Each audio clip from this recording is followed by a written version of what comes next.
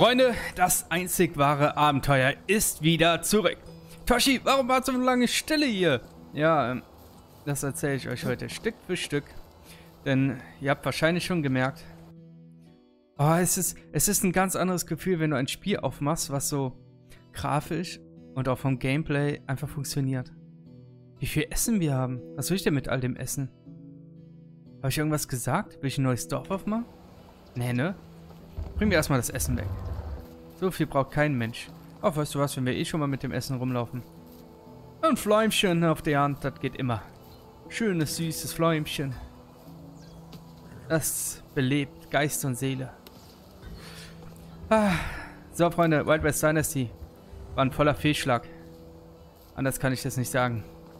Wild West Dynasty hat unglaubliches Potenzial. Das Spiel kann so großartig werden. Doch noch haben die Entwickler das Potenzial nicht ausgeschöpft. Und wir haben das Projekt erstmal auf Eis gelegt. Bis zu dem Tag, an dem es reibungslos funktioniert. Der Bug mit dem Pferd hat mir einfach den Rest gegeben. Und jetzt bin ich froh, wieder hier in dieser kleinen, geschmeidigen, funktionierenden Welt zu sein. Aber ich habe das Gefühl, die ganze Welt ist so ein bisschen langsamer geworden. Guck mal, wie langsam der kehrt, mitten in der Luft. Und tanzt am prasselnden Feuer. Und du, du fauler Hund, du! Was machst du denn da? Hä? Sehr Boy. Wer auch immer dir so einen Namen gegeben hat.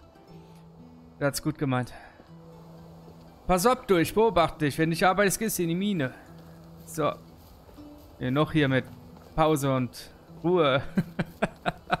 das Leben ist zurück, Freunde. das Leben ist zurück. Ich habe eine neue Idee für ein, ähm, für ein Projekt. ein neues Projekt. Das wird euch gefallen. Ich habe so, so ein gutes Gefühl dabei. ein sehr gutes Gefühl. So.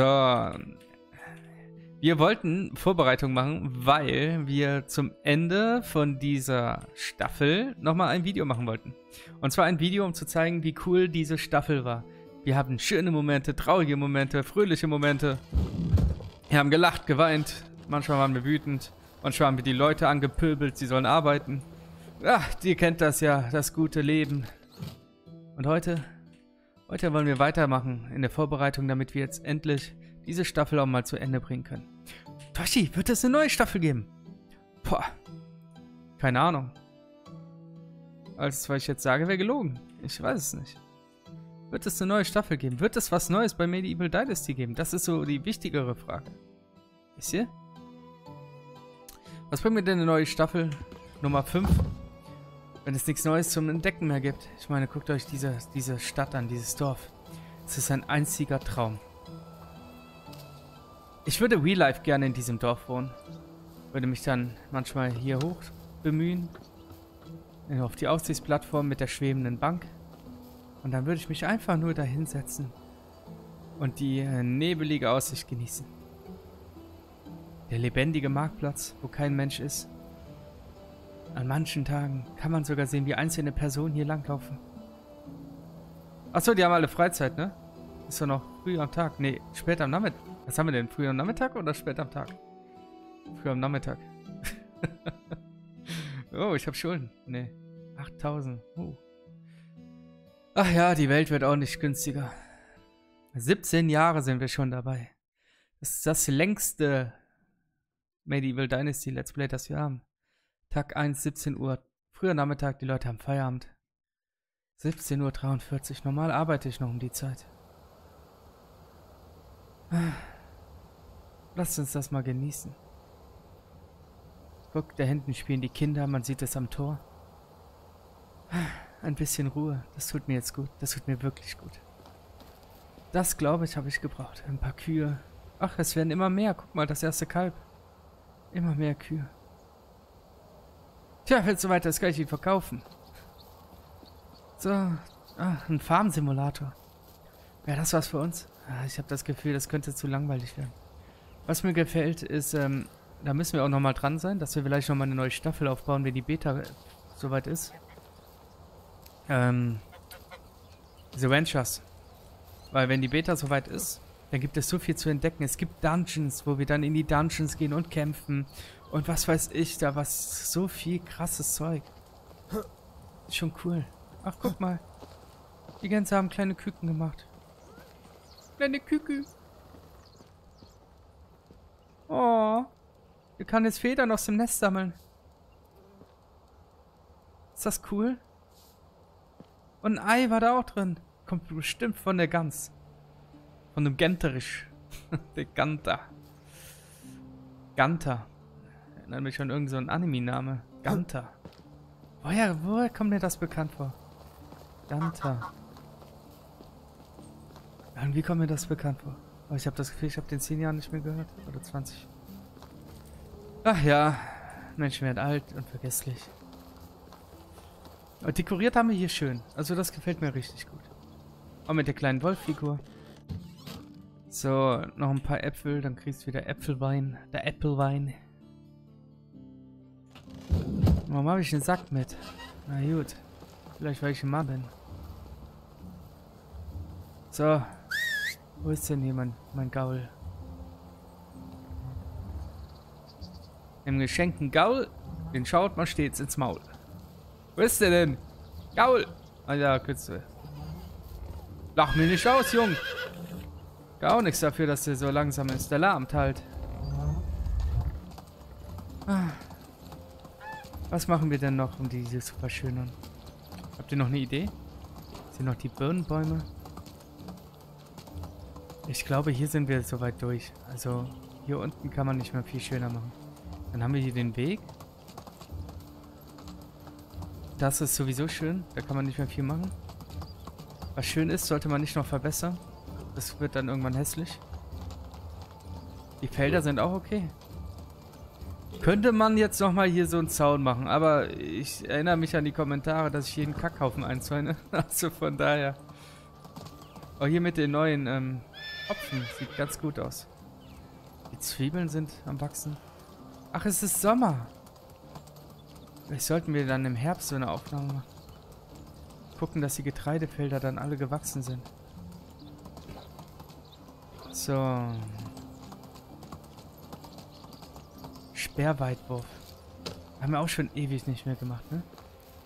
Also im Grunde nutzen wir heute eigentlich nur die Folge, um das ganze Dorf hier mal zu genießen. Wie lange ist es her, dass wir jetzt kein Medieval Dynasty mehr gemacht haben?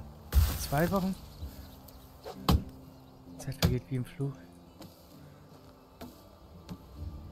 Ich muss aber auch sagen, in so Spielen wie Medieval Dynasty ist das Schönste an, an dem Spiel selber, dass wir ähm, von neu anfangen. Dieses, du hast nichts und du baust dich langsam auf. Factorio. Ich habe Factorio nie durchgespielt. Ich habe es immer wieder angefangen, aber ich habe es nie durchgespielt. Warum? Weil mir einfach diese Anfangs, diese Anfangszeit gefällt. Dieses, du hast nichts und da musst du langsam was aufbauen und das gegen die einheimischen Aliens äh, verteidigen und und dann irgendwann bist du an dem Punkt, wo du dann mit deinen Panzern und deinen komischen Spinnen rumrennst und die, die Dörfer sich von alleine verteidigen und der Gegner kann dich gar nicht mehr attackieren und, und dann brauche ich das nicht mehr weiterspielen. Für mich ist das Spiel dann erledigt. Oh, das wäre geil, wenn der getroffen hätte. Äh, viel zu kurz. Ja, abgesoffen. Lange her, dass wir mit dem Speer getroffen haben.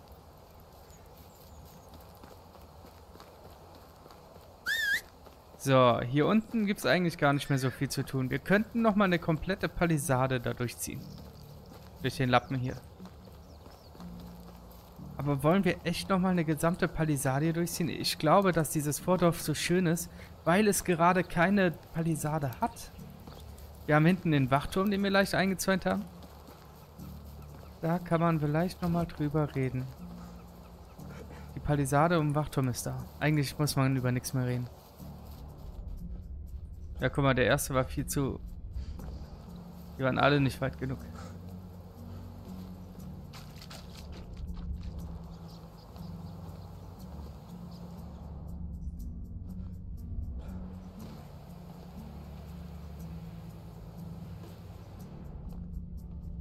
Waren alle nicht weit genug, Freunde. Einer war doch ganz kurz. Wo ist der hin?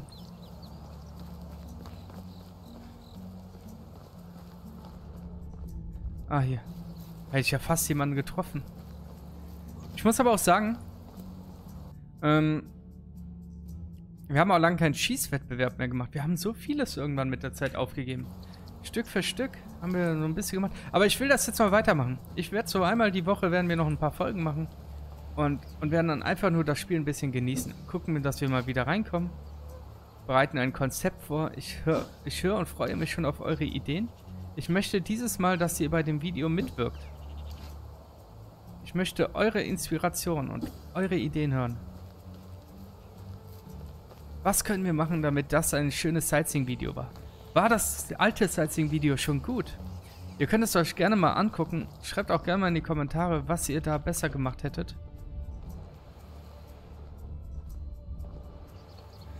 Und wo ihr schon sagt, das war schon Bombe.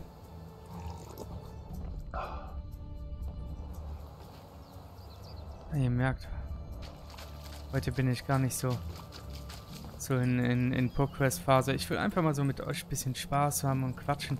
Das habe ich vermisst. Ich muss sagen, eine Woche keine Videos. Aber momentan, ich muss auch Zeit haben und in Stimmung sein. Ne? Das ist leider so.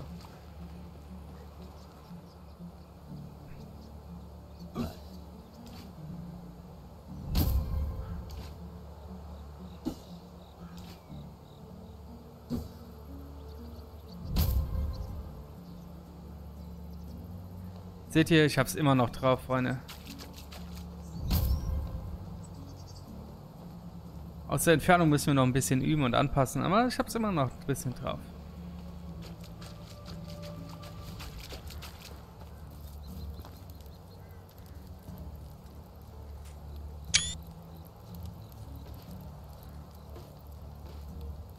Ich habe alle getroffen, ne?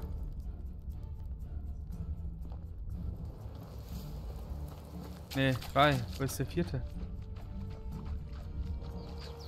So. Was meint ihr? Ich will ein erstes Hallo sagen. Oh, das war heute schön. Genau, wir gucken jetzt nochmal hier wegen den Fackeln. Können wir vielleicht bei Nacht hier das noch ein bisschen verbessern? Wo müssen noch Fackeln hin vom Lichtradius? Jetzt könnte ich den Gaul wieder gebrauchen. Okay, von hier sieht es mit den Fackeln eigentlich ganz gut aus. Fackeln geben ein bisschen Licht. Also lasst uns nicht schnell äh, lang fackeln und lasst uns wieder zurück in die Stadt reiten. Gott, meine Wortspiele waren früher besser, oder? Wo ist denn der... Ganz ehrlich, der Gaul war immer so schön schnell da. Und ich weiß nicht, was die Entwickler sich dabei gedacht haben, aber dass das Vieh an Altersschwäche stirbt, bevor es bei mir ankommt, gefällt mir nicht.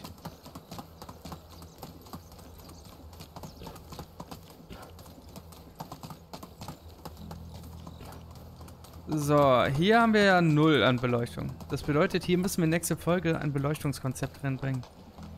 Hier, hier läuft man ja sich tot. Schau mal ein Bote muss ganz schnell zu mir und dort was bringen. Ja, verloren. So, wie sieht's hier aus? Die Laternen, okay. Okay. Könnte auch besser sein, ne? Wir fehlen noch ein paar Laternen. Wir müssen noch mehr Laternen bauen.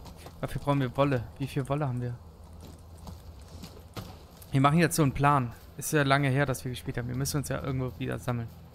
Also, eins nach dem anderen. Machen wir erstmal einen Plan. Ach, keine Sorge. Ich bin wieder raus, bevor du hier oben bist. So. Wir haben Bretter. Wir haben Brennholz. Eisen haben wir? Wir haben Eisen. Das ist auch noch nicht oft vorgekommen. Holzschalen haben wir auch, das ist gut. Wir haben Holz. Wie viel Holzsperre wir haben, Wahnsinn.